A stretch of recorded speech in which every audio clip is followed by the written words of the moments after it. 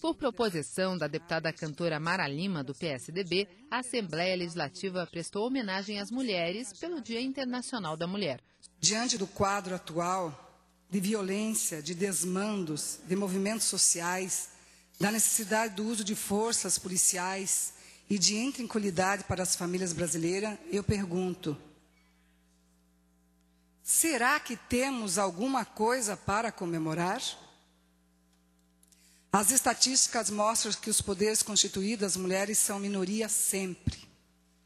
São 43% no poder executivo, 10% no poder legislativo, 20,7% no poder judiciário, numa demonstração de que a mulher precisa se dispor mais na sua participação política, administrativa e de formação profissional.